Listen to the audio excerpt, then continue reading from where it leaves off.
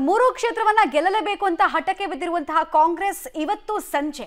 ಸರ್ಕಾರದ ವತಿಯಿಂದ ಸಿಎಂ ಸಚಿವರ ಸಭೆಯನ್ನ ಜೊತೆಗೆ ಪ್ರಮುಖ ನಾಯಕರ ಸಭೆಯನ್ನ ಕರೆದಿದ್ದಾರೆ. ಸಂಜೆ ಸಚಿವರ ಜೊತೆಗೆ ಸಿಎಂ ಸಿದ್ದರಾಮಯ್ಯ ಅವರು ಸಭೆಯನ್ನು ನಡೆಸಲಿಕ್ಕಿದ್ದಾರೆ. ಇದರಲ್ಲಿ ಟಾಸ್ಕ್ಗಳನ್ನ ಕೊಡ್ತಾರೆ ಅನ್ನೋದು ಕುತೂಹಲ. ಮೂರು ಕ್ಷೇತ್ರಗಳ ಉಪಚುನಾವಣೆಯಲ್ಲಿ ಹೇಗಾದ್ರೂ ಮಾಡಿ ಗೆದ್ದು ಬೀಗಿ.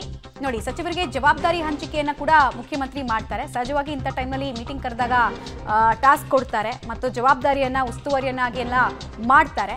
ಜಾತಿ ಗಣತಿ ಜಾರಿ ವಿಚಾರವಾಗಿ ಕೂಡ ಸಚಿವರ ಜೊತೆಗೆ ಸಮಾಲೋಚನೆಯನ್ನು ನಡೆಸಲಿಕ್ಕಿದ್ದಾರೆ. ಅದು ಕೂಡ ನಿರ್ಣಾಯಕ ಹಂತಕ್ಕೆ ತಲುಪ ಬಿಡಬಹುದು ಅನ್ನುವಂತಹ ಲೆಕ್ಕಾಚಾರ ಇತ್ತು. ರಾಜ್ಯದಲ್ಲಿ ರಂಗೇರ್ತಾ ಇದೆ ಉಪಚುನಾವಣೆಯ ಅಖಾಡ. ಹೀಗಾಗಿ ಎಲ್ಲರನ್ನ ಕರೆಸಿಕೊಂಡು ಗೆಲ್ಲುವಂತಹ ಚಾನ್ಸಸ್ಸು ಯಾರಿಗೆ, ಯಾರು ಗೆಲ್ಲೋ ಕುದುರೆ ಮತ್ತು ಅಲ್ಲೇನಾದರೂ ಅಸಮಾಧಾನಗಳಿದ್ರೆ ಅದನ್ನು ತಣಿಸುವಂತಹ ಹಾಗೂ ಕ್ಷೇತ್ರವನ್ನ ಇಂತಿಂತವರು ನೋಡ್ಕೊಳ್ಬೇಕು ಅಂತ ಜವಾಬ್ದಾರಿನ ಹಂಚಿಕೆ ಮಾಡ್ಬೋದು.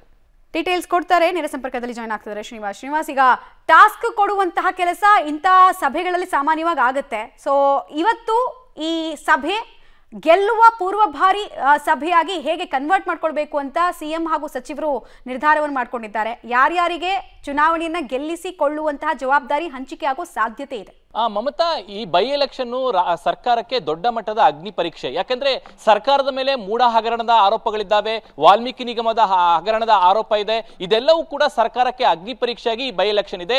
ಹೀಗಾಗಿ ಮೂರು ಕ್ಷೇತ್ರವನ್ನ ಶತಾಯಗತಾಯ ಗೆಲ್ಲೇಬೇಕು ಅನ್ನುವಂತ ನಿಟ್ಟಿನಲ್ಲಿ ಸಿದ್ದರಾಮಯ್ಯನವರು ಸಿದ್ಧತೆಗಳನ್ನ ಮಾಡ್ತಿದ್ದಾರೆ. ಆ ಹಿನ್ನೆಲೆಯಲ್ಲಿ ಇವತ್ತು ಸಂಜೆ ಆರು ಗಂಟೆಗೆ ಕಾವೇರಿ ನಿವಾಸದಲ್ಲಿ ಎಲ್ಲ ಸಚಿವರ ಜೊತೆ ಸಭೆಯನ್ನ ಮಾಡ್ತಿದ್ದಾರೆ. ಪ್ರಮುಖವಾಗಿ ಎರಡು ಅಜೆಂಡಾ ಇರುವಂತದ್ದು. ಒಂದು ಬೈ ಎಲೆಕ್ಷನ್ ಚುನಾವಣೆಯನ್ನ ಯಾವ ರೀತಿಯಾಗಿ ಎದುರಿಸಬೇಕು ಅನ್ನುವಂಥದ್ದು ಮತ್ತೆ ಗೆಲ್ಲದಕ್ಕೆ ಬೇಕಾದಂತ ತಂತ್ರಗಳನ್ನು ರೂಪಿಸಬೇಕು ಅನ್ನುವಂಥ ನಿಟ್ಟಿನಲ್ಲಿ ಸಭೆ ಆಗ್ತಿದೆ.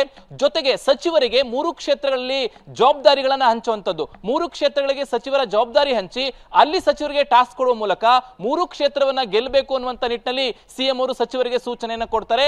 ಎರಡನೇದು, ಜಾತಿ ಗಣತಿ ವಿಚಾರ ದೊಡ್ಡ ಮಟ್ಟದಲ್ಲಿ ಚರ್ಚೆ ಆಗ್ತಿದೆ. ಲಿಂಗಾಯತ ಮತ್ತೆ ಒಕ್ಕಲಿಗ ಸಮುದಾಯದ ನಾಯಕರು ಇದಕ್ಕೆ ವಿರೋಧವನ್ನು ವ್ಯಕ್ತಪಡಿಸಿದ್ದಾರೆ.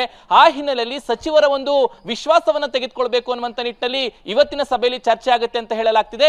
ಕೊನೆಯದಾಗಿ, ಒಳ ಮೀಸಲಾತಿಗೆ ಸಂಬಂಧಪಟ್ಟಂತಹ ಚರ್ಚೆಗಳು ಕೂಡ ದೊಡ್ಡ ಮಟ್ಟದಲ್ಲಿ ಆಗ್ತಿರೋದ್ರಿಂದ ಆ ವಿಚಾರವೂ ಕೂಡ ಸಂಬಂಧಪಟ್ಟಂತೆ ಸಿಎಂ ಅವರು ಸಭೆ ಮಾಡ್ತಾರೆ. ಪ್ರಮುಖವಾಗಿ, ಉಪಚುನಾವಣೆಯನ್ನ ಗೆಲ್ಲಬೇಕು ಅನ್ನುವಂತ ನಿಟ್ಟಿನಲ್ಲಿ ಸಿದ್ಧತೆಗಳು, ಪ್ರಚಾರ ಗೆಲ್ಲಬೇಕಾದಂತಹ ಟಾಸ್ಕ್ ಅನ್ನು ಕೊಡುವಂತ ನಿಟ್ಟಿನಲ್ಲಿ ಸಿಎಂ ಸಿದ್ದರಾಮಯ್ಯವರು ಈ ಒಂದು ಸಭೆಯನ್ನ ಮಾಡ್ತಿದ್ದಾರೆ ಅನ್ನುವಂತಹ ಮಾಹಿತಿಗಳು ಲಭ್ಯವಾಗಿವೆ. ಮಮತಾ.